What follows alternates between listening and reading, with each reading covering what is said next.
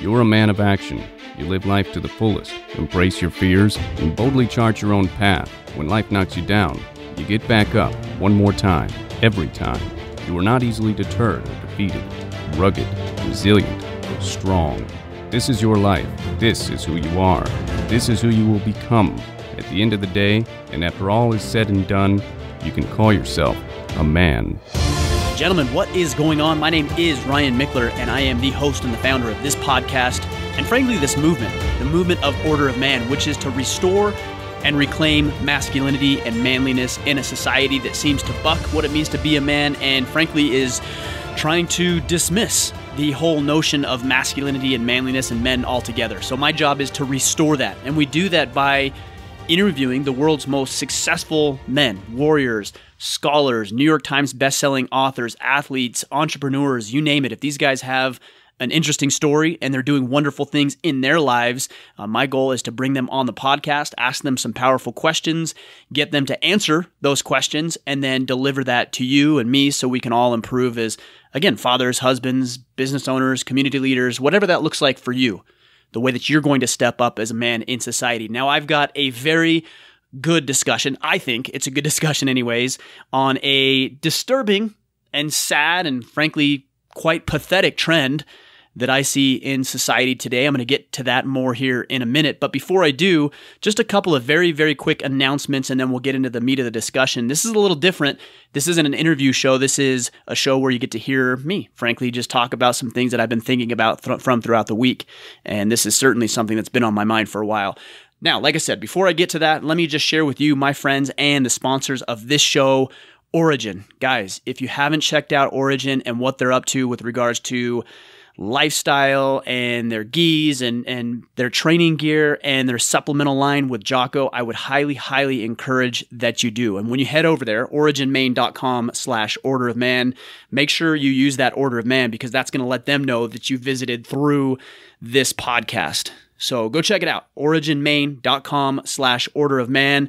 Uh, I've been using their products and their training gear for the last couple of months, and I got to say, I'm blown away with the quality that they uh, bring to the table and marketplace. Everything they do is 100% made in America without compromise. So, guys, check it out. And also, later this year, I'm going to be training with them for a week at their immersion camp, which is going to be a lot of jujitsu training and, of course, see their outfit they've got in Maine as well. So if you are interested in that, you can shoot me a message and let me know. I can get you the details on that. But would love to have as many guys from Order of Man uh, join me as possible. So originmaine.com slash order of man. Oh, and also make sure you use at the checkout order.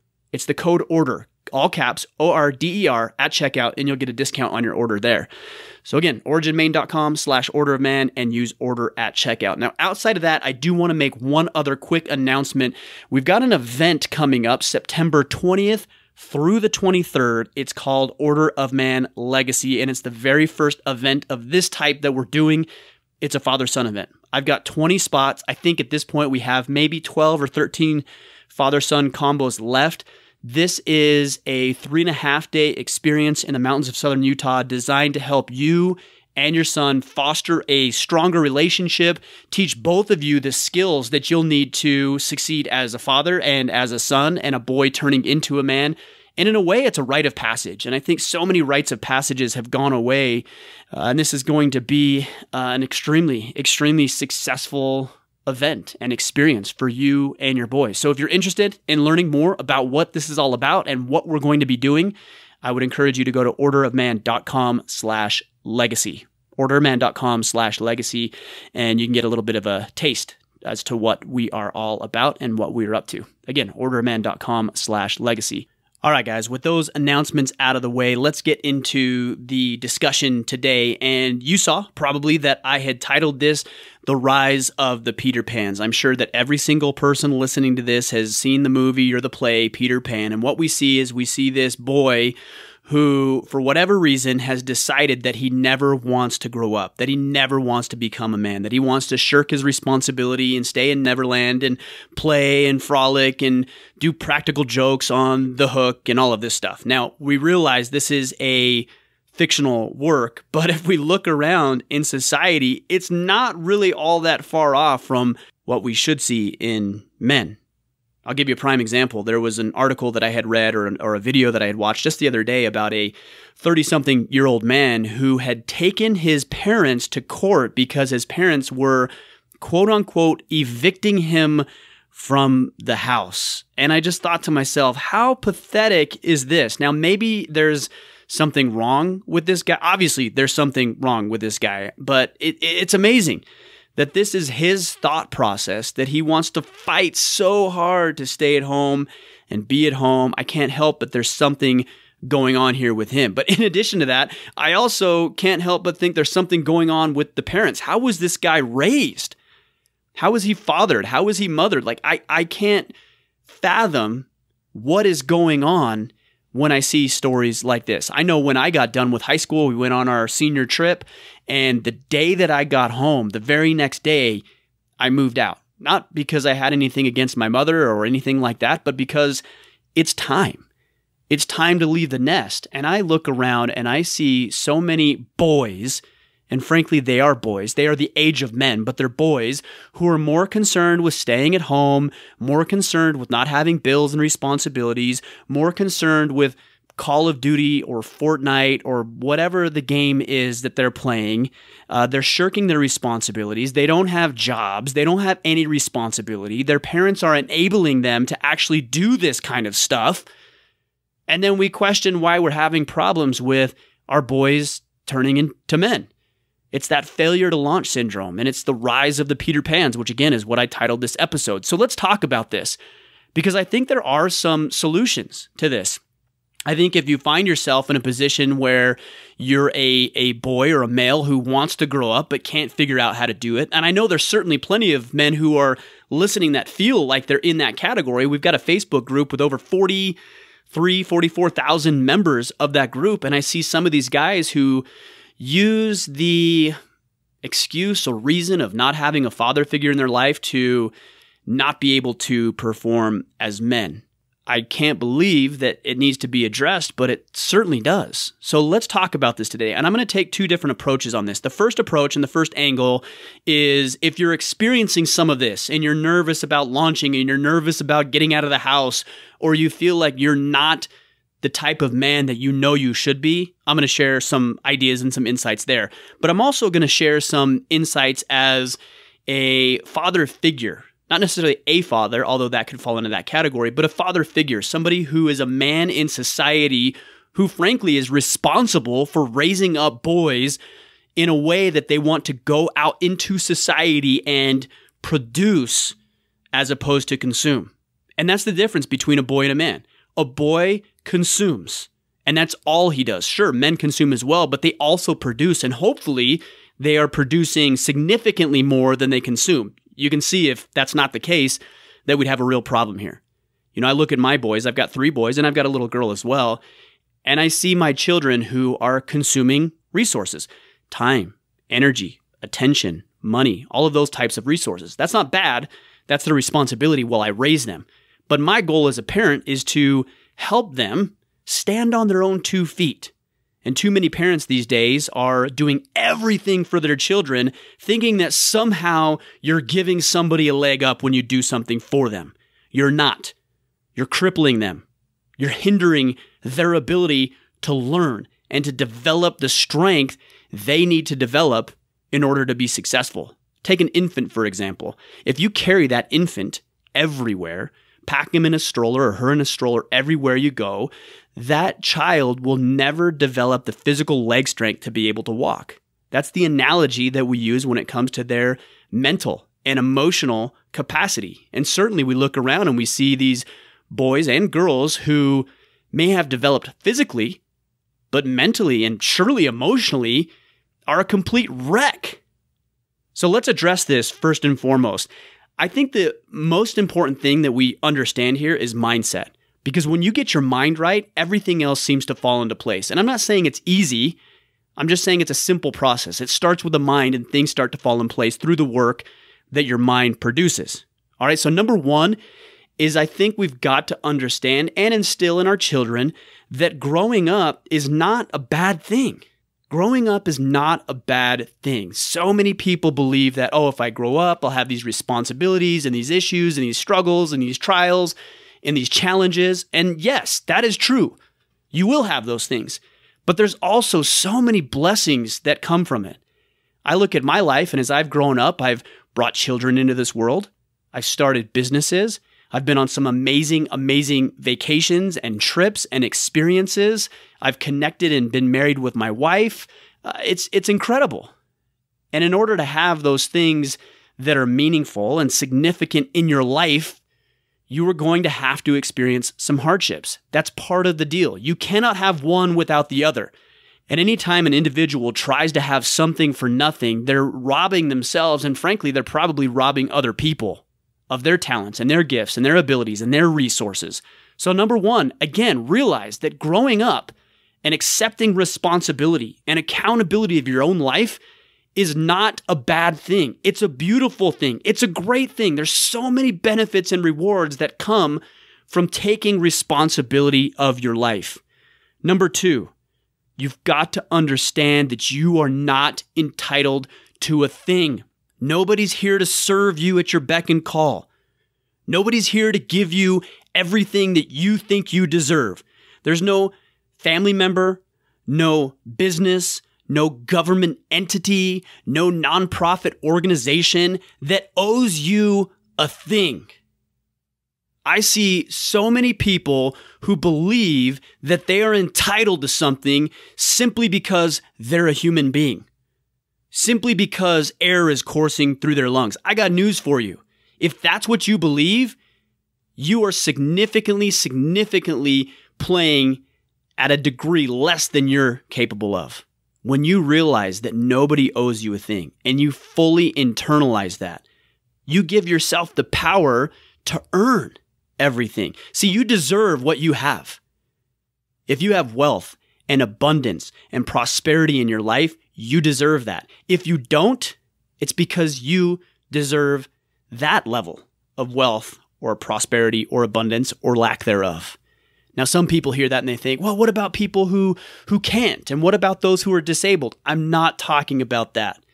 I'm talking about the fact that if there's somebody who is fully capable of providing their own way and they're not, that's a real problem. Again, you are not entitled to anything, but that's okay because once you accept responsibility, you can go out and earn it. Now, number three, if you're feeling, guys, like this might be you a little bit, if you're feeling like, man, I just didn't have a father figure and I don't know what this looks like and I don't know how to step up as a man, I would say stop spending time with boys. Find a way to spend time with men.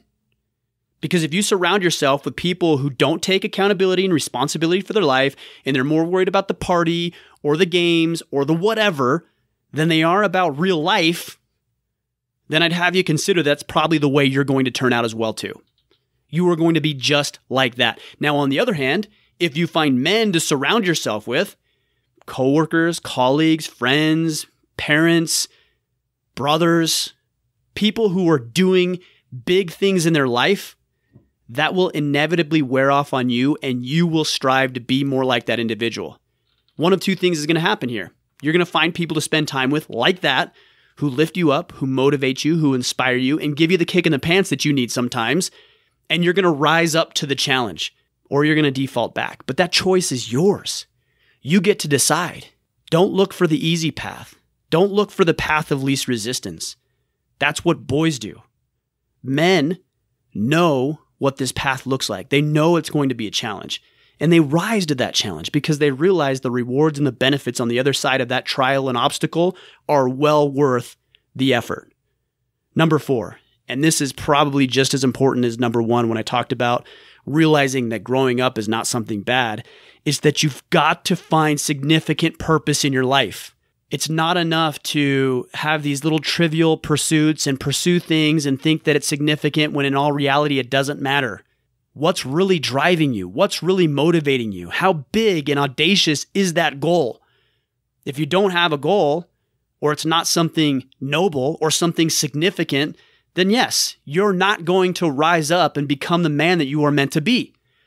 You're going to play at a level far less than you're capable of doing because there's nothing pushing you, there's nothing pulling you, there's nothing driving you and motivating you. So sit down and figure out exactly what you want. You don't have to have this figured out. It's going to change over time. You're going to grow and develop and mature. It's going to change over time. But if I ask you, what do you want, and you can't answer that question, I think that's a real problem. I think that's a real challenge.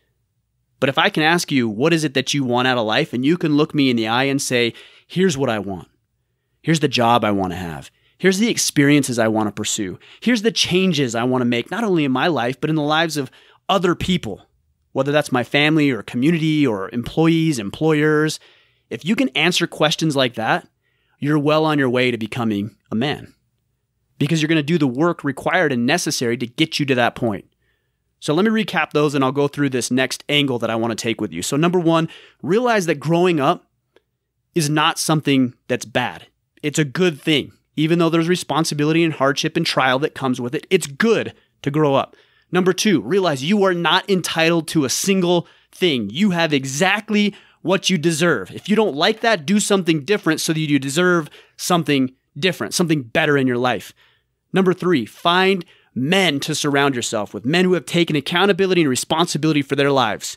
Stop hanging around the boys who are more worried about the party and the games and the whatever it is they consume themselves with and start hanging around men. And number four, find significant purpose in your life. It's not going to be perfect. The first time you do this, it's probably not going to be all that grand or exciting. But the more that you do this, the more that you think about it, the better off you'll be. All right, guys, now let's talk about the second component, and that is us as father figures. It's not just dads, but it's community leaders, it's it's mentors, it's business owners, it's employers. We have a responsibility to raise the next generation. We're going to ask that they lead that they lead us sometime. So we might as well make sure that we're adequately preparing them to lead. So let's talk about this. Number one, we have got to stop allowing our women exclusively to raise our children. Now, women bring something wonderful to the environment. My wife does an amazing job in fulfilling her responsibilities as a mother that is compassionate, empathetic, supportive, the love. Now, I'm not saying guys can't exhibit that as well. They certainly can. But primarily, that's what women do. And that's much needed in society. But if you look around at the rate of fatherless homes and you look at the rate of female versus male school teachers, it's very apparent that a large percentage of our population is being raised in the home and in the school system without a male father figure in their life. And why is that a problem? Well, there's multiple problems. There truly is. But I think the biggest problem is that these boys are not being challenged. They're not being pushed. They're not standing face to face with another man who's pushing him, who's driving him to be better, who's course correcting along the way. And so what we have is we have a very soft, effeminate trend in our boys who are not rising up to the challenge of being a man. And I know that that statement is going to fire a lot of people up. I'm not discounting at all what women bring into a loving household, into society in general. But what I am saying is that both the masculine and the feminine energy are needed if all these boys are receiving is feminine energy, I don't think it should be any surprise that they don't learn how to be men. My mother raised me, and I've talked about this on this podcast before, primarily on her own. But if you were to ask her, was she equipped to give me everything that I needed as a boy learning how to be a man? She would be the first to tell you that she did not. And she was not equipped with everything which is why she got me involved in competitive sports. I needed a physical, mental, emotional challenge. I needed other men to stand with. I needed to be disciplined by other men. I needed to be course corrected by other men who weren't afraid to have those challenging conversations and get in my face and tell me when I was doing wrong and when I was doing right. And that's the third thing I want to address is that guys, we've got to have consequences for our children. Please Please understand me. There has to be consequences for your decisions. positive and negative. When our children make good decisions, we should reward them. And I'm not saying gift them things. I'm just saying maybe you encourage them. Maybe you give them a comment or a or a compliment.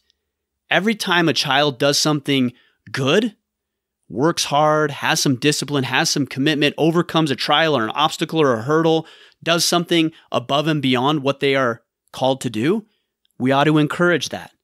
Now, when a child does something wrong and gets into trouble and doesn't do what he or she is supposed to do, then we as parents are called and I think required to be the deliverer of the consequences sometimes. That's not fun. Nobody wants to do that. Nobody wants to see their child suffer. I don't want to see my boys and my little girl go through challenges, but I would rather have them go through these types of challenges in a controlled environment under my watchful eye than run loose and do who knows what without any consequences or thought about the future and how it might impact them. That is my job as a father to introduce struggle and challenge and adversity and trials, and then equip my children with the tools to be able to handle those things. These factors, when not present in the home or young men's lives, create the kind of situation where a 30 plus year old man can go to court and sue his parents because they're kicking him out of the house. Absolutely ridiculous, but just a very small symptom of the underlying problem that is the rise of the Peter Pans in society. Guys, we've got to reverse this trend. How do we do it? We stop doing it ourselves, first and foremost. We take responsibility. When there's an opportunity at work, we step up to the opportunity. We take on the trial, we take on the task. We don't shirk our responsibilities. We don't take the path of least resistance. We do the hard thing because we realize, although it's hard, there are benefits on the other side of that difficult challenge and adversity. That's number one. Number two, we instill the same thing in our boys. We don't coddle them. We don't protect them. We don't shelter them unnecessarily. We allow them to be introduced to challenge and trial and adversity and struggle. We teach them what it means to have purpose, significant purpose in their lives. We issue the consequences or help them deal with the consequences of their decisions. So when we can look back and say, Did I do a good job as a father or a father type figure? You can see your boys and girls standing on their own two feet, doing what they should be doing as functioning and contributing members of society. I wish the answers were easy. They're certainly not. It's pretty hard to articulate everything that should and can be done on a 20 or so minute podcast. But I firmly believe that this is the beginning of the solution to the rise of the Peter Pans. Guys, don't allow yourself to be fooled into thinking that the path of least resistance is the path that we are destined to take. It's not. We should be looking for the harder path, the more challenging path, because the view on the other side of that is significantly more rewarding. Anyways, guys, that's all I've got for you today. I would love to hear your feedback. Maybe you agree with me, maybe you disagree with me. Uh, I'd love to have a conversation. You can join us in our Facebook group, facebook.com slash group slash order of man. I'll make a post about this and we can continue the discussion over there. Uh, I'd also encourage you to check out our legacy event. This is our father son event because we're going to be talking about these types of issues and, of course, so many more and learning some skills that are going to help you as a father and, of course, help your, your son as a boy transition into becoming a man. Not a Peter Pan, but a man. I'll sign out with that. Appreciate you. Glad you're on this journey with me. I love the support and the messages I receive from you guys who are reclaiming what it means to be a man. You're salvaging your marriages, you're losing weight, you're building your bank accounts, you're starting businesses, you're raising your daughters and your sons, and it's truly inspiring to be a, a part of this movement. So I appreciate you guys. Until next week, take action and become the man you are meant to be. Thank you for listening to the Order of Man podcast. You're ready to take charge of your life and be more of the man you are meant to be? We invite you to join the Order at orderofman.com